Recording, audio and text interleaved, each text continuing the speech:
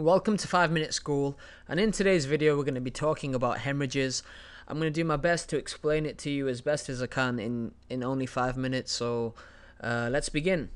Uh, we have the definition here which is the escape of blood from a blood vessel. That's all a hemorrhage really means, so the leaving of blood from a vessel. So imagine if you even cut yourself on your finger, that can also be considered a hemorrhage because blood has initially left uh, the blood vessel and is leaked out. So that's all the hemorrhage is. You can have internal hemorrhages or external. So the external one would be when you cut yourself on your finger and blood leaks out.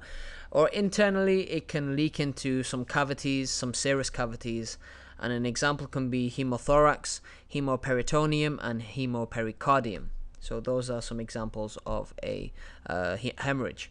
So uh, we have a few different types of hemorrhages, and uh, I'm going to talk about them. But first, what you need to know there is something called a hematoma, which is where we have um, blood which leaves a vessel.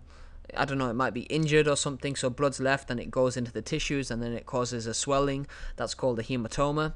One type of hemorrhage is called ecchymosis, which is a large um, extravasation of blood into the skin and mucous membranes. It's about 1 to 2 centimeters. That's called an ecchymosis. We have a smaller one called purpuras, which are small areas of hemorrhages into the skin and mucous membranes. They're a little bit smaller, they're 3 to 5 millimeters. And we have petechiae, which are pinhead sized hemorrhages, and they're only 1 to 2 millimeters. The actual um, escape of blood vessels, uh, sorry, blood cells, red blood cells, into loose tissues is actually called diapedesis. So that's the microscopic escape of erythrocytes into loose tissues. Now, uh, this form of blood loss can either be large or sudden or small repeated amounts over a longer period of time. So obviously if it's large and sudden then it would be an acute hemorrhage. If it's small amounts over a period of time then it's known as chronic. So it has to be a longer period of time. So causes um, of a hemorrhage. Let's look into that. So uh, one cause of a hemorrhage can be trauma to the vessel wall. So, for example, some kind of penetrating wound. So, that could be in the heart or a big vessel. So, that can be one cause of a hemorrhage.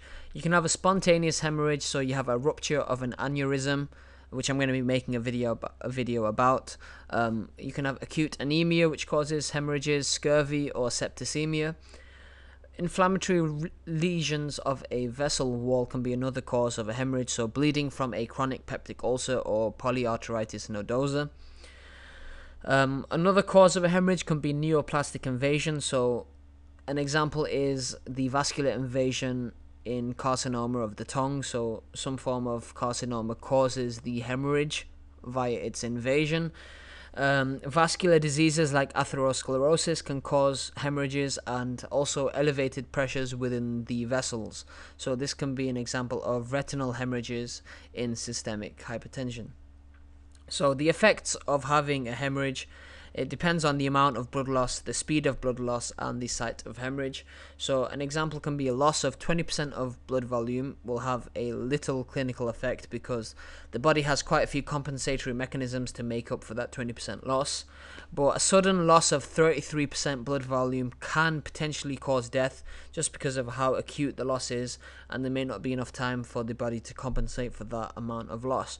But at the same time, you can also see that a 50% of a 50% loss of blood volume over a longer period of time, let's say 24 hours, may not exactly be fatal. So you can see the effects of a hemorrhage really does depend on whether it's acute or whether it's over a longer period of time. So, so an example here is the fact that 33% may just cause death straight away if it's sudden, but 50% over a longer period of time won't be as fatal. So, chronic blood loss generally produces some form of iron deficiency anemia. Um, acute hemorrhages may lead to immediate consequences like hypovolemic shock, which I've made a video about, and I'll include that in the description below.